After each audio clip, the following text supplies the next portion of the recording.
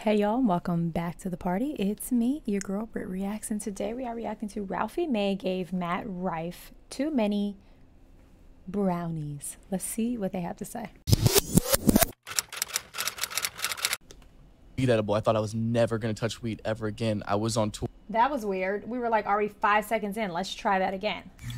The Thank first time you. I ever had a weed edible, I thought I was never gonna touch weed ever again. I was on tour with uh, with Ralphie May, and we were doing uh, we were doing his tour bus up and down the West Coast, Yeah. and uh, had never had weed before, and I, he would do it all day, every day. So I was like, well, a little bit wouldn't hurt me. And he was taking uh, Chiba chews, fucking Oh, yeah. heavy edibles. That's, uh, that's, that's an edible. Yes. So he was like, just take one of these.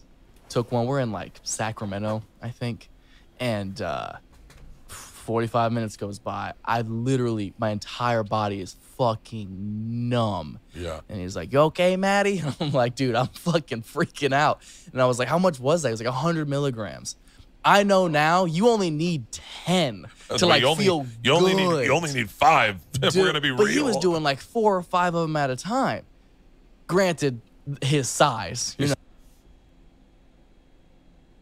100.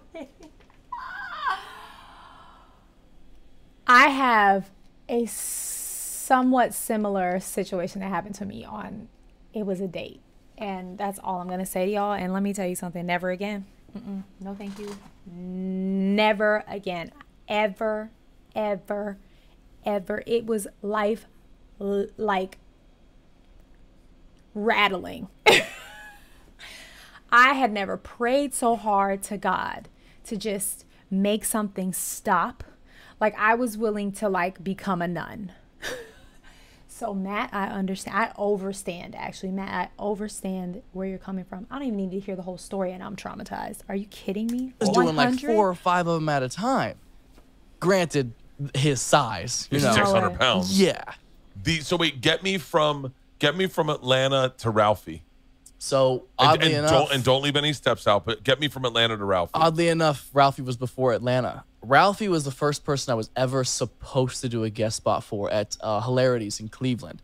I had been doing stand up for like four months, and this was a time when Twitter was like, fucking great club. Great club. love that is. club. I ended up playing Nick is the fucking best. The coolest. That is one guy. of the greatest clubs in all of this country. the crowds are always good. I don't think I've ever had a bad show at I, Hilarities. I don't know what you're doing if you're in Cleveland right now. I don't care who's performing there Mm-hmm. this weekend. Go see a show at Hilarities. Whoever's there is going to be amazing, and you'll have a great experience. Food's fantastic. Yeah. The strip there is great to do stuff before and after. Oh, yeah, yeah, yeah, Definitely yeah. go check it out. Um, I was in stand up for like four or five months, and this is when Twitter was like pretty new. Like everyone, you could you could get a hold of anybody. So I would just like I t- How old is Matt? He, I mean, I mean, he's just probably the most beautiful creature on the planet. But he seems young. But he's talking about. I mean, how old is he? Do we know? Let me know in the comments. How old is Matt? I'm interested. like pretty I'm not interested in him. I'm just interested in his age. Just to clarify. Yeah. go check it out. Um, I was in stand up for like four or five months, and this is when Twitter was like pretty new. Like everyone, you could you could get a hold of anybody. So I would just like I tweeted to Ralphie, and I was like, "Hey, I see you're going to be in Cleveland on this date or whatever. Can I do a guest spot for you? I heard that's like the thing to do." Yeah. And I hadn't done a guest spot for anybody yet, and he was like, "Yeah, sure, come through." But I was so young. I was, I think I was still 15 at the time Oh. and uh, my mom was obviously new to it as well and she was the one who was going to take me up there and i remember it was like two months out and over the course of like the following month she just kept making me ask him questions like what time do i need to be there my Okay, so he was he started young. So this now makes more sense. I'm like, was he like our like what? Okay, he's probably around the age I think he is, like in his mid to late twenties, mid mid to late twenties. Uh, this is also a really good mom, I think, to stand behind your son at 15 to want to do something that is like an adult industry.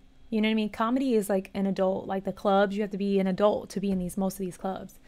And so he had a mom who stood behind him at 15 and seemingly so it had him asking all the right questions. month she just kept making me ask him questions like what time do i need to be there do my parents need to get tickets where are they going to be sitting like i was just bombarding him with questions Yeah, and he was like hey man i think it's a bit too much maybe we do try this another time down the road i was fucking devastated. I was I, I ran to my room, slammed my door. I was like, "You ruined it for me." Ralphie May hates me. Yeah. Fast forward to maybe a year goes by. I'm 16. He's doing a theater in Youngstown, Ohio. My grandparents live up there, so I was like, "Hey, can we try it this time?" Never performed at a theater before. I get there. He pulls up in the bus. My mom's there with me, and uh, theater I think held like uh, 750, something like that. Smaller wow, theater, it's but sixteen. theater nonetheless. That's huge. And uh, before I go on stage, he hands me a hundred dollar bill, and I was like, "Oh no, no, no, no! Like I, don't- I don't want to pay. it. I'm just happy He's to like, no, go you." get me Coke. yeah right. Like that's gonna make him skinny. Yeah, I was- Another question: Have any of you ever had this liquid death that that uh, Bert is drinking out of? It's water, but fun fact: I chaperoned a field trip for my daughter in the fall, and a little boy. Uh, it was lunchtime, and he pulled out his lunchbox, and he had a liquid death can in his. And this, my daughter's in second grade. He pulled it out, and she like all her friends started whispering, and then she comes up to me. She's like, "Mommy, that kid is drinking grown up juice." And I look over and I'm like, what? And I, I immediately thought it was a, like a beer can too because I had never seen or heard of liquid death. And I looked close and I'm like, it's just water, girl. But the kids were like literally up in arms. They were like, what are we going to do? He's drinking grown up juice. and I've never tried it, uh, but I just wonder, have you guys? This says mountain water and how good it is. Like canned water to me doesn't feel like my vibe, but I don't know. Is it good? Like that's gonna make him skinny. Yeah, hands- as soon as I said Coke, I was like, why would I say Coke? I should have said chicken tenders. Run up to McDonald's and I don't want a Real- penny real of this quick. back. I'll be off in two hours. I don't want any of the hundred sauce. bags. I want to tell, take this to Taco Bell and tell them to fucking surprise me. hands me a hundred dollar bill. I'm like, no, I'm like just so thankful for the spot and to meet you, whatever. And he goes, no, Sam Kinison gave me a hundred dollar bill for my first guest spot ever. So I wanted to return the favor. I want to make sure you do the same thing when you're older in a position to do the same for somebody else. That's Sadly, when you do that to someone, they're gonna go, "Who the fuck Sam Kinison?" Yeah, exactly. E- Even I had to he Google if I'm being did- yeah. honest. I had to, I had to Google. I was like, oh yeah, he's the best. Oh, I love Sam Kinison. He's the funniest. He's such a nice guy. Calm. I love his calm demeanor. so go off stage, do like seven minutes. It was so much fun. Um, he fucking crushes, obviously. And then I think like six months later, no, may, maybe closer to a year later, I'm, I'm 17. I'm planning on moving out to LA. He's at some, I forget what other theater he was doing in Ohio, but I, he let me open for him again. And I told him, I was like, yeah, I'm gonna, I'm gonna move out to LA. And he was like, don't do that. He was like, don't go to LA until like they're asking for you. That's smart. And I didn't That's wait. smart.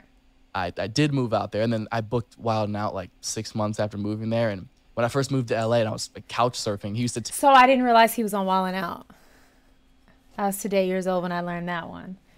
He had a wildly successful career very early on, and I think that just goes to show like supportive parents can mean the world to to someone who doesn't like try to hold their child back and support them, but try to understand the business as well. Like he clearly has a natural talent.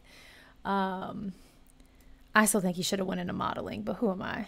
Wild 'N Out like six months after moving there. And when I first moved to LA and I was like, couch surfing, he used to take me to restaurants for lunch and he'd make me order like six meals. And he was like, eat one now, the rest you can take home with you.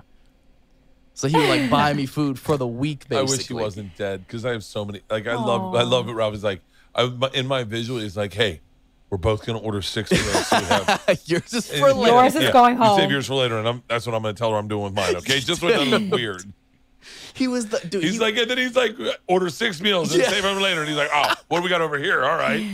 by the time we're done, I have like three meals left. Right. And he ate He's the like, I one that I fucking paid ordered for for it. myself. I love that Bird Oh, doesn't he have he was shoes the nicest. on. When I was still in Ohio, uh, around Christmas time, he used to let me drive down to Zanies in Nashville because he had a Nashville spot as well. Yeah. And he would always do shows there around Christmas time. He would let me drive down, open for him, get like the you know the hundred bucks from the club or whatever, Yeah. and then he would tip me like an extra five six hundred dollars so I could like buy my family Christmas presents and stuff like that. Just the nicest fucking guy, man. He was the nicest guy. He was the nicest. I really miss him. Uh, I also was today years old when I learned that Bert had a podcast of his own called the Bertcast, which seems really fun. So that was a fun like backstory. Y'all know I love a backstory. Um, wasn't as long of a clip about the brownies as I thought it would be, but whatever, fine by me. All right, kids, go and have the day you deserve. Peace.